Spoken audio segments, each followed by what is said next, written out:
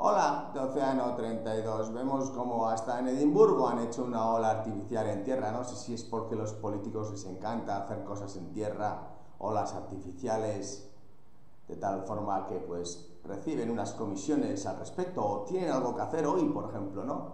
Cuando en realidad tenemos una media de 1,5 metros en la costa norte de España y también tenemos dos y medio en el sur de Indonesia de metros con lo cual no es necesario construir nada, ya tenemos energía gratuita. La cuestión es si aprovechamos la subida de los niveles del mar para aplicar estas olas no artificiales, naturales, puesto que realizar barreras de coral, esto genera vida, está más que demostrado. Esperemos que a algún país se le ocurra que es muy inteligente generar las olas donde ya están, porque la mar va a seguir subiendo, incluso podríamos aprovecharlo. Ya hay países que están empezando a pensar en echar arena para generar más playas, etcétera, porque es una posibilidad impresionante de que los habitantes sean más positivos. Está claro que si estamos en contacto con la mar, el personal está más positivo, como en la tripa de vuestras madres éramos todos mucho más felices. Y eso es lo que estamos deseando, seguir flotando allí y generar este bienestar